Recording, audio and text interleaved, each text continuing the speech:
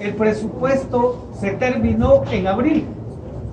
Esto lo venimos denunciando desde ya hace rato, porque el señor presidente solo aprobó 32 millones de dólares para cancelar los beneficios de los veteranos, cuando el presupuesto que presentamos andaba arriba de los 200 millones de dólares.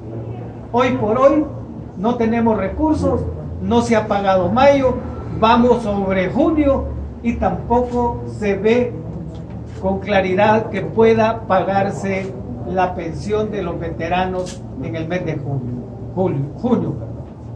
Por eso es urgente que este día la Comisión de Defensa apruebe las reformas para que eso permita habilitar recursos para poder cancelar al mayor, a la mayor brevedad posible las pensiones de los veteranos.